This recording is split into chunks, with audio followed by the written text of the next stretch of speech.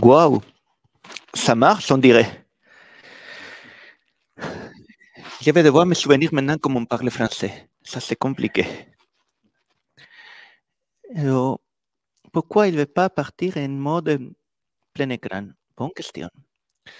Un instant. Arrêtez le partage.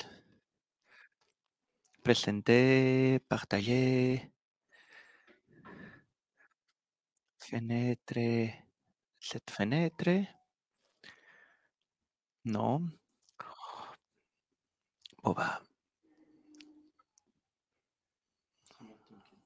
Hmm? Oui.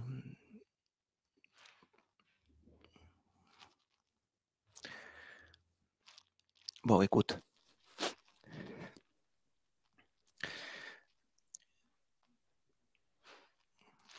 Je crois que vous allez voir ma barre d'anglais. C'est pas très grave. Donc, les titres sont un peu prétentieux. Comment est-ce que Gitpod a changé ma vie? Mais, en fait, c'est vrai d'une certaine façon. Au moins, ma, façon de faire plein de choses au jour le jour dans ma vie professionnelle a été changée et je voudrais vous partager comment, pourquoi et comment je suis arrivé là. Mais d'abord, je vais me présenter. Je m'appelle Horacio González. Le léger accent que vous pouvez apercevoir si vous vous concentrez vient de fait que je suis espagnol et malgré avoir passé plus de la moitié de ma vie dans la pointe de la Bretagne, l'accent ne part pas. Donc ça tombe bien, moi non plus, on se comprend bien mon accent et moi. Et je suis, je suis développeur, je suis assez impliqué dans les communautés dev de la pointe de Finistère. Je suis organisateur de la meilleure conférence de France, carrément, le camping de speakers, deuxième édition au mois de juin. Si vous ne connaissez pas, vous ratez un truc de ouf. Et en même temps, je suis le responsable de la team de FREL Developer Relations at OVH Cloud. J'imagine que vous connaissez OVH Cloud. D'ailleurs, je les remercie de me permettre d'être là et de m'avoir laissé venir depuis Brest jusqu'ici pour ça. Donc, pourquoi je suis là pour vous parler de Gitpod? Bah, Je suis là, c'est la photoconférence, quoi. Depuis des années, je donne des talks à plein de conférences. Pourquoi c'est la photoconférence Bien, on fait un Zoom au début de 2021. Vous vous souvenez, il y avait une pandémie ou un truc comme ça, et on était tous à la maison. Et j'avais commis l'erreur, oups, bon bah écoute, et j'avais commis l'erreur d'envoyer un call for papers, une proposition pour un atelier, un atelier autour de développement web avec Stencil à l'époque. Ça avait été pris.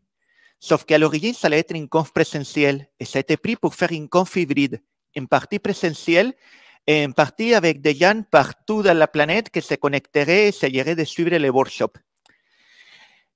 Autant dire qu'à ce moment-là, me suis senti plutôt mal. Parce que j'avais déjà essayé de faire des workshops. J'avais déjà fait pas mal. Et c'était toujours la même histoire. Et moi, je n'ai pas l'outil que tu m'as dit. À moi, j'arrive pas à l'installer. À mon ordi, il est bridé par les gens de, de SOC et je peux pas installer quoi que ce soit. Oh, j'arrive pas à récupérer l'image Docker que tu as mis. Mon 4G est trop lent. Ah, le Wi-Fi, elle coupe. Bref, sur deux heures d'atelier, j'ai passé une heure, si c'était pas une heure et demie, à réussir que tout le monde a le minimum indispensable pour démarrer. Je me souviens encore, celui qui avait encore un vieux Windows 7, mes premières générations, c'était, mais pourquoi? Bah, c'est le seul ordi que j'avais sous la main. L'ordi de boulot, je ne peux pas l'utiliser. Ok, cool. Bref, autant dire que c'était une expérience plutôt désagréable. Et là, je me trouvais dans la difficile position de devoir le faire à l'échelle et avec des gens distribués partout. Et bien entendu en anglais. Donc, j'ai fait ce que tout le monde ferait dans mon cas. J'ai commencé à demander à tout le monde Est-ce que tu as une solution miracle Bah, bah non. Est-ce que tu connais quelque chose Bah non. Et je suis allé voir mon ami Philippe, qui devrait être là ce soir parce qu'il est aussi un des premiers Hero français. Et dès que j'ai commencé à parler, il m'a dit Attends, attends, tu connais pas Gitpod, non Git quoi Va voir Gitpod et après tu me reparles. Bon, je sais que quand Philippe dit un truc comme ça, souvent ça vaut la peine, donc je suis allé voir Gitpod. Et au début, je me suis dit, non, mais ça ne peut pas marcher, ça ne peut pas être vrai ça. C'est en gros avoir un environnement de développement à sa service. C'est, c'est trop bien. En plus, Philippe dit que ça marche. Si ça marche, c'est, c'est plutôt cool. Et quand je l'ai testé, c'était la première surprise. Punaise, ça marche. J'ai passé une soirée à essayer de préparer mon truc. À la deuxième soirée, il un environnement qui marchait, un petit Dockerfile avec tout l'outillage que j'avais besoin pour mon atelier.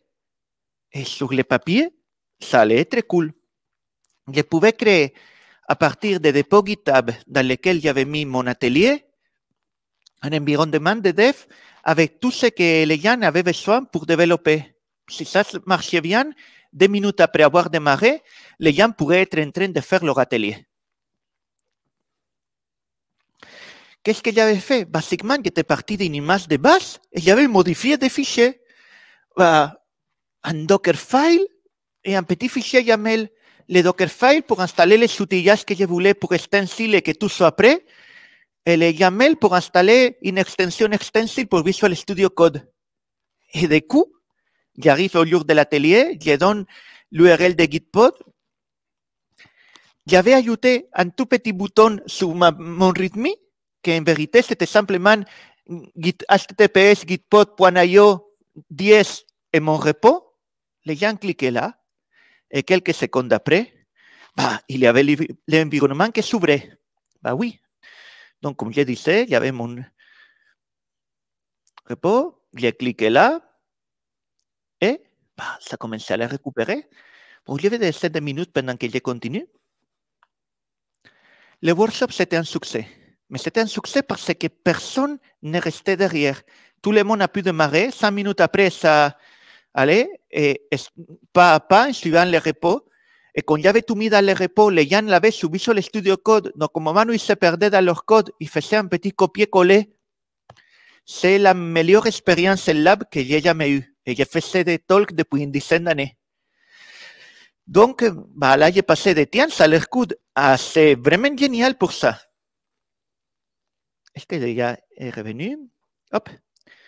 Et voilà, là, j'ai mon environnement de dev. Là, il y a mon Node.js que j'ai déjà préinstallé, tout mon outillage. J'ai mes fichiers, y compris tous les steps dans lesquels j'ai la solution de mon code. C'était carrément idéal pour pouvoir faire un atelier.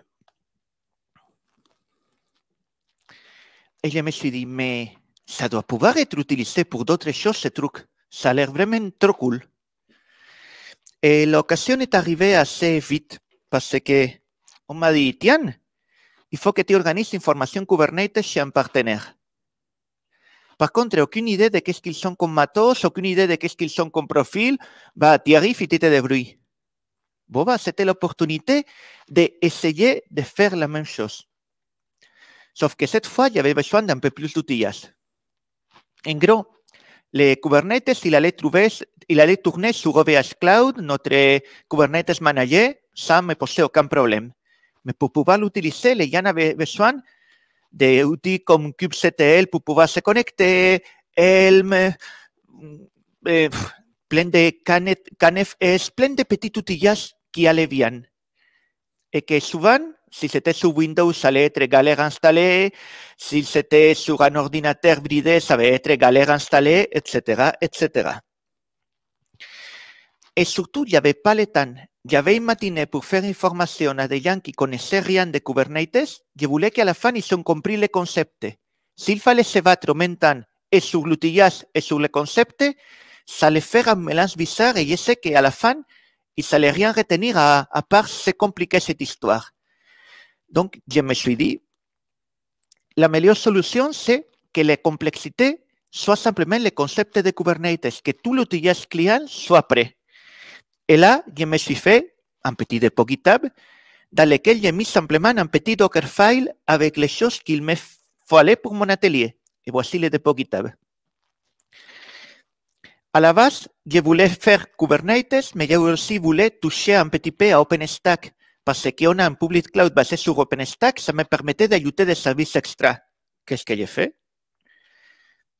J'ai fait un petit Dockerfile à partir de l'image de base de Gitpod. J'ai ajouté tous mes outils OpenStack. C'est plein de Python et de paquets pour les différents projets OpenStack. J'ai ajouté kubectl. J'ai ajouté Helm, Velero et toute une série d'outillages. Et j'ai donné ça en arrivant à l'atelier. Vous n'allez qu'aller là et cliquer sur Opening Gitpod. À nouveau, gitpod.io slash 10 en mon repo. Les gens cliquent là et tout de suite, hop, il démarrait le workspace et il pouvait commencer, ou il pouvait commencer plutôt à expliquer, tiens, tu as un cluster qui a été créé là, tu vas récupérer la configuration, tu fais ça, et maintenant tu vas te connecter avec kubectl, cluster info, et ça marchait. Donc, du coup, j'ai gagné énormément de temps, j'ai pu aller plus loin, mais surtout, j'ai pu me concentrer sur la complexité qui avait un intérêt, comment est-ce qu'on utilise Kubernetes, et pas sur la complexité inutile, comment est-ce qu'on installe d'outillage sur des ordinateurs sur lesquels j'ai aucun contrôle. Donc, j'ai commencé à faire ça pour des cas plus compliqués. Nous, on a un cloud public, le public cloud de OVH Cloud, c'est basé sur OpenStack. OpenStack, il y a plein de petits projets à l'intérieur. Chacun utilise, utilise son outillage, un CLI global. On a aussi des services ajoutés. Il y a un Kubernetes Manager, des bases de données Manager, il y a des, suite produits IA. Et chacun utilise ses propres outillages. Donc, pour moi, si je voulais montrer aux gens comment s'en servir, j'ai la double difficulté. Installer l'outillage pour ceux qui ne connaissent pas et ensuite s'en servir. Pour moi, Gitpod pouvait éliminer une énorme partie de la complexité, toute la complexité côté client. Je pouvais avoir les gens qui en quelques minutes pouvaient tester. Et je pouvais aussi les accompagner dans leurs tests parce qu'une fonctionnalité très sympathique de Gitpod, c'est que tu peux partager ton workspace. Tu te retrouves coincé tu ne sais pas comment avancer, tu cliques partager ma workspace, tu envoies l'URL et moi, je pouvais voir où est-ce qu'il s'était coincé. Et là, je pouvais le dépanner. Et ça, c'est énorme. Donc, bah, j'ai ajouté encore plus d'outillages au petit dépôt que vous avez vu tout à l'heure.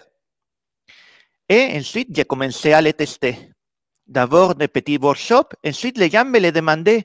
Hey, Horacio, j'ai entendu que tu as un truc très simple pour faciliter. Et donc, le petit dépôt, bah, il a commencé à être utilisé par d'autres personnes, mais simplement pour pas s'embêter à installer les trucs en local. Même des gens en interne disent, mais en fait, ça me fait gagner du temps. Et c'est là où j'ai rejoint ce que tu disais, il y a des environnements éphémères, mais qui sont toujours là, que tu pars toujours de la même base. il n'y a pas de drift, il n'y a pas de dérive. C'est carrément bien, surtout pour des gens qui ne l'utilisent pas tous les jours. Eh, tiens, il y a un truc à faire sur les clouds publics, mais je bosse, plutôt sur d'autres projets. Donnez-moi le Gitpod. Je les lance, je fais ce qu'il y a à faire, je les ferme. Je n'ai pas eu besoin de polluer mon ordinateur, de faire quoi que ce soit. Et à ce moment-là, bah, ça coïncidait au moment où j'ai commencé à, on m'a dit de monter une team. Donc, on est passé de 1 de frais à 5. Et une des premières choses que j'ai fait quand ils sont arrivés, c'est de parler de Gitpod. Et là, bah, je crois que mon enthousiasme a un peu débordé parce qu'ils sont devenus aussi très enthousiastes comme Olivier qu'il y a là. En fait, c'était un outil super intéressant pour quand on travaille dans les developer relations. Ça permet de faciliter la vie aux utilisateurs et ça permet de partager avec les utilisateurs et recevoir leur partage. Donc, c'est un peu la base de notre métier. Et il permettait de faire des choses compliquées très simples. Par exemple, Aurélie, l'année dernière, il a écrit un bouquin sur Kubernetes, un bouquin dessiné à la main et l'a auto-publié. Mais pour ça, il avait besoin de pas mal d'outillages. Et ça tournait pas très bien dans les Mac de boulot. Mine de rien, il y a aussi problème de permission et devoir installer Docker, devoir faire des choses. Avec Gitpod, elle avait son outillage, elle pouvait avancer, elle pouvait avancer comme elle voulait, à son rythme, et bah, tous les bouquins étaient édités, mis en page et, générés à partir de, des environnements Gitpod. Notre ami Olivier, qui vous parlera tout à l'heure, on a une doc, une doc sur VH Cloud qui est open source, mais elle est très complète et derrière, il utilise un workflow relativement complexe à base de Python et Pelican et plein de plugins open source et certains plugins custom pour générer le site de la doc. Les gens qui travaillent sur la doc tous les jours ont tout ça installé local. Certains galères. Ben, nous, en tant que DevRel, on doit travailler souvent avec la doc. Donc, la première fois, Olivier a testé, ça fait mal, et il s'était dit, c'est que tout sysadmin se dit, si la première fois fait mal, la deuxième fois aussi, la troisième, j'automatise et je ne m'embête plus jamais. Il m'a dit, donnez-moi des jours, je m'en occupe. Des jours après, il avait mis tout le workflow sur Gitpod. Donc, lui, il générait la doc, mais derrière, tout le monde qui travaillait avec la doc trouvait ça beaucoup plus simple que de devoir gérer tout en local, beaucoup plus rapide.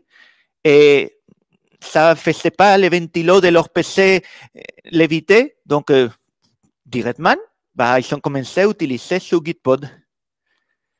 Donc, euh, c'était pas des, des, gros projets, mais ça changeait énormément de choses au quotidien. Et surtout, ça enlevait des frictions. Ça enlevait des points d'accroche qui sont désagréables, des irritants, comme on dit. Oh, mon collègue Stéphane, lui, il travaille beaucoup sur l'open source. Il est contributeur à plein de projets, responsable de certains. Et c'est lui qui m'a fait remarquer que, en fait, pour un projet open source, c'est carrément génial. L'idée est simple Aujourd'hui, si tu as un projet open source, les gens qui doivent contribuer, d'abord, doivent avoir l'environnement, doivent avoir l'environnement pour contribuer. Ça prend déjà du temps et de l'énergie. Beaucoup s'arrêtent là. Avec Gitpod, si tu fais l'effort de mettre les Dockerfiles qui va bien sur ton Gitpod, en plus, avec Gitpod, il y a un, programme open source qui te permet, pour des projets open source, d'avoir des crédits pour travailler gratuitement va tu peux faciliter la vie à tout nouveau contributeur. Il clique, il a l'environnement, il y a les outils pour compiler, pour tester, pour vérifier. Il y a tout ce qu'il faut. Il n'a qu'à écrire son code, le tester, le vérifier, faire sa PR et c'est parti. Donc, tu réduis la barrière d'entrée et tu permets un truc que beaucoup de repositories ne peuvent pas avoir, c'est des casual committers. Des gens qui sont là, tiens, ça, je peux le fixer, ça me prendrait une heure ou deux. Je le fais et peut-être qu'il ne revient pas à ce projet jusqu'à dans six mois plus tard. Il n'y a pas eu la barrière d'entrée, tu n'as pas demandé de faire l'effort, donc tu facilites que les gens committent. Aussi, un workshop comme celui qu'on a fait la semaine dernière, on avait des opérateurs Kubernetes en Java avec Quarkus, petit, Git, petit Dockerfile. On a fait les workshops sans le moindre souci. Ou des trucs encore plus exotiques, faire des WASM, des WebAssembly et des TinyGo qui après va être déployé sur des Raspberry Pi ou des microcontrôleurs, mais ça demande que la, ça demande d'avoir Rust, ça demande d'avoir TinyGo, ça demande d'avoir des versions souvent en alpha ou bêta, plutôt que s'embêter à installer ça et à les remettre à jour, environnement Gitpod, c'est fait. Bref, ça changeait énormément de choses dans notre quotidien. Ça changeait aussi le fait que c'est open source on a la version SaaS, mais il y a la version open source que tu peux installer sur, euh, sur ton environnement à toi. C'est pas parce que c'est open source et c'est gratuit que ça va être rentable de l'installer. C'est souvent un mauvais calcul. Mais si tu as une bonne raison, par exemple, bah, a des contraintes de sécurité qui me disent que je ne peux pas utiliser un cloud, bah, là, tu peux le prendre, tu peux l'installer toi-même et tu peux l'utiliser en interne. O par exemple, je vais le connecter à un repository Git, privé qui n'est pas sur GitHub ou sur GitLab, ça ne pose pas de problème. Donc, ce côté-là, open source, et savoir que le côté open source est maintenu, pour moi, c'est une des choses qui m'a décidé à continuer à mettre de l'effort. Ce n'est pas tout à fait évident à installer, mais une fois que tu as un cluster Kubernetes et que tu testes un peu, bah, ça marche plutôt bien. Et pour finir, one more thing. Comme Pauline disait tout à l'heure, Gitpod, c'est un nouvel type d'outil. C'est un Cloud Developer Environment, un CDE, on va dire ça. C'est pas le seul. Vous avez sans doute entendu parler de CodeSpace bah, de GitHub, GitLab travaille sur un outil différent. Aujourd'hui, par contre, Gitpod, c'est le plus facile à utiliser et le plus avancé en termes de fonctionnalités. Et en tout cas, je suis convaincu que ce type d'outils sont là pour rester. Ce n'est pas une mode. Ça a énormément d'avantages. Ça permet aussi d'utiliser des ordinateurs beaucoup moins chers et moins puissants avec un petit MacBook Air qui peut développer tout et n'importe quoi sans que l'ordinateur souffre. Ça te permet aussi de réduire énormément le temps de préparation de la machine. Donc, euh, comme on disait, c'était le titre d'une autre conférence que j'ai faite il y a longtemps, c'est après tout, peut-être on n'a plus besoin d'un ordinateur à 5000 euros, un MacBook Pro de ne sais pas combien de gigas de RAM pour développer. On prend un petit MacBook Air et avec ce qu'on épargne, on a de quoi payer un abonnement à Gitpod pour des mois ou des années. On l'installait soi-même en local et utilisait la version open source. Donc, pour moi, ce type d'outil change vraiment la façon comme on peut développer. Et je suis très content de ce que tu racontais au début parce que c'est littéralement ça il y a énormément d'avantages et de coûts tu développes de façon différente. Tu pars toujours d'un endpoint Git, tu finis toujours avec une PR, tu shoots l'environnement et tu démarres toujours à nouveau. Et ça, c'est vraiment libérateur aussi. Une autre, one more, une second more thing. Il y a un truc sympa qui est aussi derrière soutenu par les gens de Gitpod, c'est Visual Studio Code, c'est Open Visual Studio Code Server. C'est une version de Visual Studio Code. Là, il n'y a pas l'environnement complet, simplement l'éditeur, mais qui tourne dans un Docker et que vous pouvez accéder depuis une fenêtre navigateur. Ça n'a pas les mêmes fonctionnalités, mais il est très facile à tester.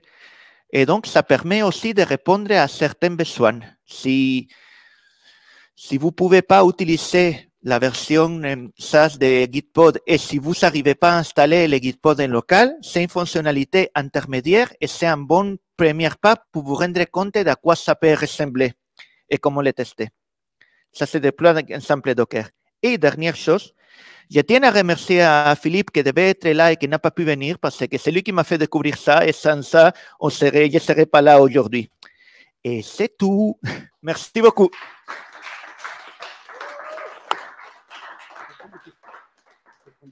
Waouh, ça peut être des questions, c'est toi qui donne les temps. On a le temps des questions, donc si vous avez des questions, euh, maintenant, on peut le faire enregistrer. Oui. Est-ce que tu peux revenir sur le dernier avec En gros, VS Code Server, c'est une, comme une partie. VS Server, c'est VS Code. Oh, est-ce que je peux revenir sur VS Code Server Qu'est-ce que c'est VS Code Server, c'est une version de VS Code qu'on peut accéder depuis une fenêtre navigateur. En gros, c'est un VS Code servi depuis un Docker, accessible depuis HTTPS, et donc tu peux avoir dans ton onglet bah, un Visual Studio Code complet. Il n'aura pas toutes les fonctionnalités de Gitpod parce qu'il n'y aura pas dans la partie terminale la possibilité de mettre tous les softs que tu veux avec un Dockerfile comme on fait sur Gitpod, mais ça te permet quand même de, de développer, d'avoir l'environnement de développement sans avoir installé quoi que ce soit local. C'est extrêmement pratique, par exemple, pour développer depuis un petit ordinateur ou depuis une tablette avec un clavier. Et surtout, ça permet derrière d'ouvrir la voie à que d'autres personnes fassent de ce type de projet plus spécialisé. Et derrière, bah, c'est backupé par nos amis de Gitpod, mais aussi GitLab, VMware, Uber. Donc, il y a plein d'acteurs qui travaillent dans ce type d'outillage. C'est pour ça que quand je vous disais que les CDE sont là pour rester, derrière, il y a un engouement. Beaucoup vont utiliser Gitpod et d'autres, autres vont fabriquer eux-mêmes l'outillage adapté à leur environnement. Mais l'idée de pouvoir utiliser les, navigateurs comme outil de développement et test, c'est une idée qui prend de plus en plus d'ampleur. Et donc, bah, la différence, c'est que avec OpenBS Code Server, tu as que les côtés code, mais tu n'as pas la partie, bah, la partie terminale, la partie possibilité de tester, d'ouvrir des ports et de faire tout ça.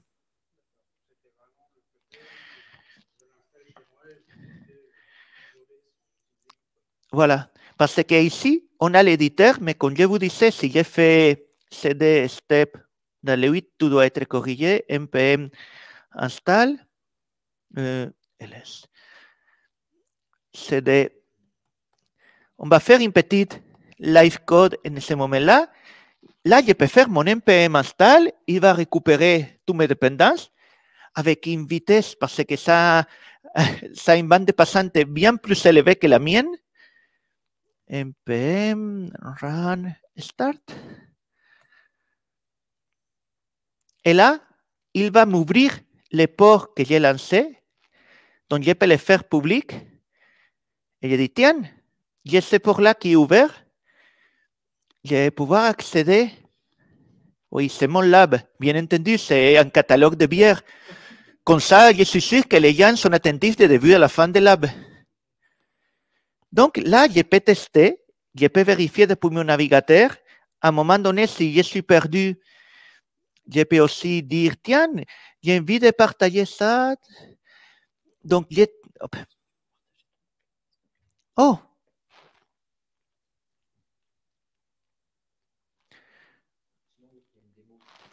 Ouais, il y a des démos. après. Voilà. Il fera plus de choses que moi. Donc, est-ce qu'il y a d'autres questions? Oui, elle envie que j'ai décroche le micro, mais il fallait pas me donner le micro. Après, c'est compliqué de le récupérer. D'autres questions? Bon, merci beaucoup.